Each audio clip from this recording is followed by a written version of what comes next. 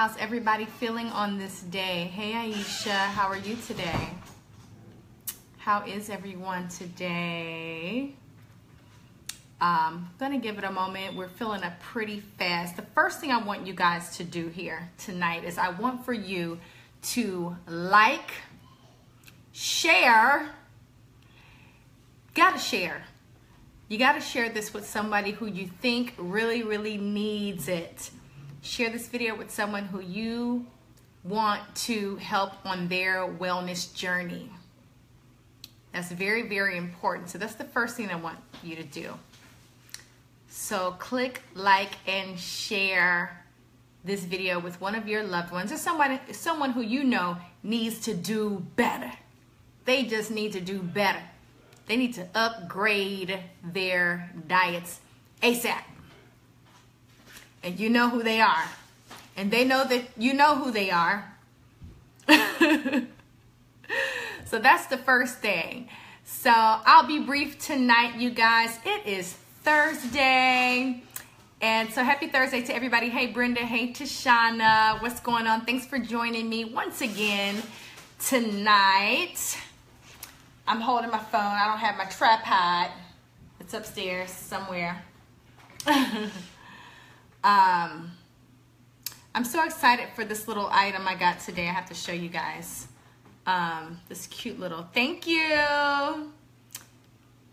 Thank you. Hey, what's going on, Shannon, Philly? So, how many of you guys are in New York by show of like thumbs and hearts?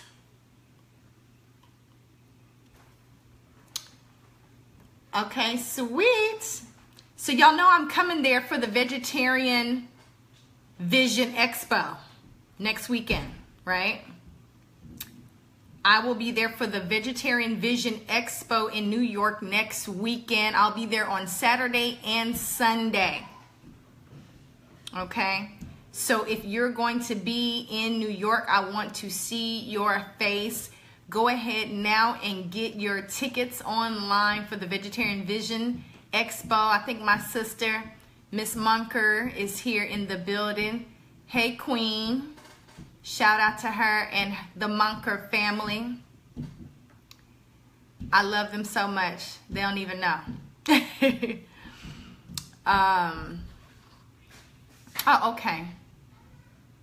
Oh, Talitha, that was you sending hearts, but you're in South Florida and South Carolina. Well, I'll be close to Charlotte, so that's coming up soon. Um, but I wanted to just chat with you guys tonight and talk about um, a little bit about how you can make this transition without starving yourself. And we'll, of course, get into that for our online workshop course. We'll get into all the details, all the details about that. But tonight I want to talk a little bit about some of just the junk food traps because you want to eat well, you don't want to get caught up in the junk food traps, and it's so easy to do that. And that's why we're doing the electric food classes so that you can just not just go plant-based, but so that you can also avoid the junk food traps. So some of those junk food traps, for example, uh, can you do me a favor? Justin? Yeah. If you go right upstairs, you know that thing that I use to set my phone on? Yeah. It's like black and blue. Yeah. Can you grab it for me? Thank you. So, some of the junk food traps that is easy to get into when you're going vegetarian. I know that sounds crazy. You're thinking junk food. If I'm vegetarian, I'm not eating junk food. You're absolutely gonna run into some junk food. You want to be really, really careful. Um, one of the junk food traps is chips. So of course you're to be looking for really quick things to grab. You're to be looking for, um, you know, a healthier version of what you're used to, and it may look that way on the surface, yes, sir, but it's super easy to fall into a trap. Thank you, and to um, end up with the same crap, sometimes worse. So you got to really, really be careful about this. All right. Um, number two is all of the sweets. All of the unhealthy sweet things on the market. It's very easy to run into that junk. uh, and that's a good one, Chiquita. And you know we're about to go there and talk about carbs. Carbs is one of the things that you'll certainly run into because you, when you give up meat, you start to just look for a filler of sorts, right? So you're looking for something that's going to give you that feeling, something's going to fill you up, something's going to give you that nice, comforting feeling. And that, that tends to happen um, pretty early on when you cross over. You're giving up the meats, and if you're not jumping to all the soy and all the alternatives and all that stuff, then you end up with the carbs.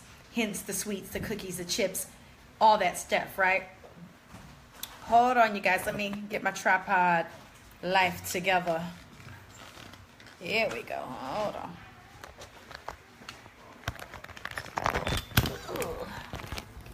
There we go. Ooh. Okay. Ah, I'm in there. Ooh. Okay. Ah, all right. So, can you have ice cream? Yes.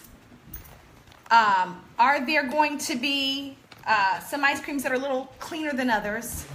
Absolutely. Okay. Let me give myself. Ah. Jesus Christ. Get this thing straight. Okay. There we go. right. Chips. No good.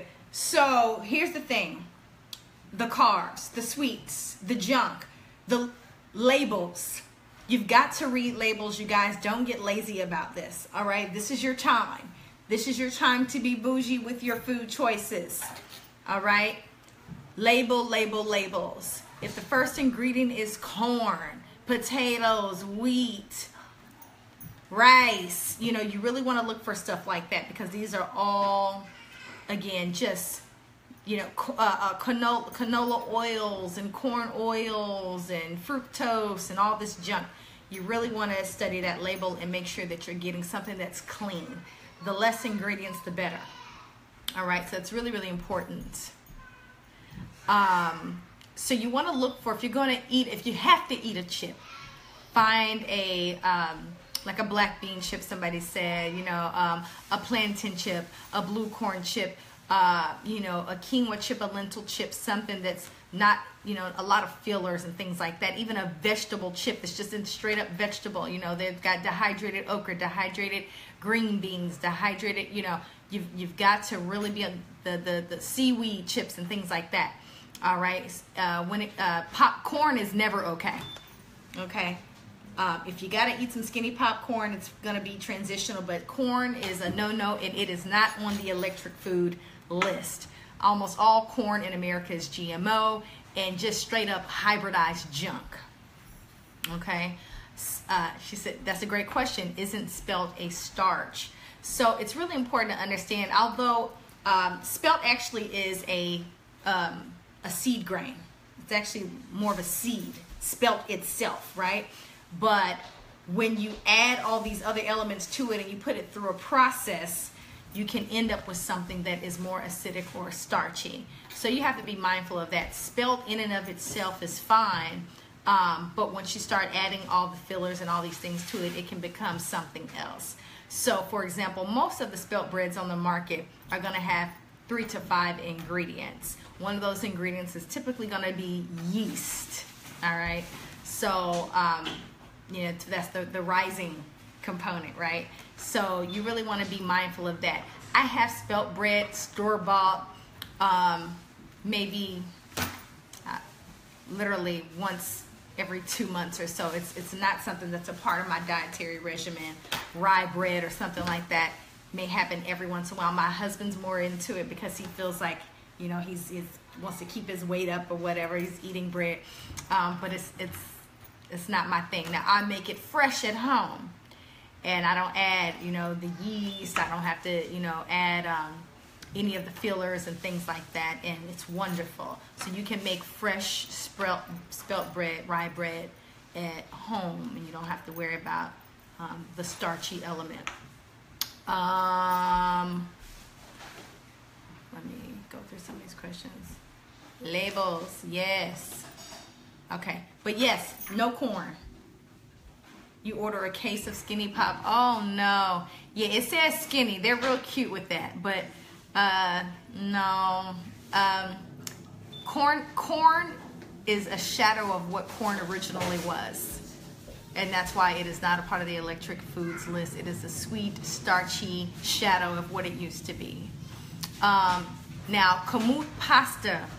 Um, kamut pasta actually has the least amount of gluten of all of the seed grains uh, next to quinoa and uh, and uh, amaranth.